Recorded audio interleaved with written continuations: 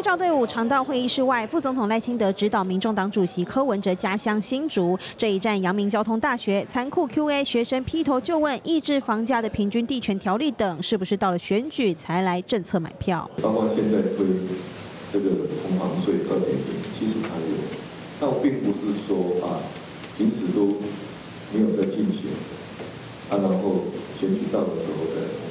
澄清政策推动进程，赖清德展现沉稳特质。因为学生接着提问，怎么评断各个候选人，说服大家投给赖清德？我是不方便去点评其他的候选人。那我个人到底情况怎么样？这个就是我今天站到大家面前来的原因。展现愿意聆听的心，还得解决学生心中最在意的那块，像是居住正义。应该会比蔡英文总统更有利，因为蔡总统都十二万户嘛。所以我们未来的八年这三万户应该是不会用。民生难题还有用路，要撕掉行人地域标签，可不能只是口号。我有信心解决人行道被外国称为行人地狱这个问题。啊，不妨拭目以待。你今年几岁？十八岁。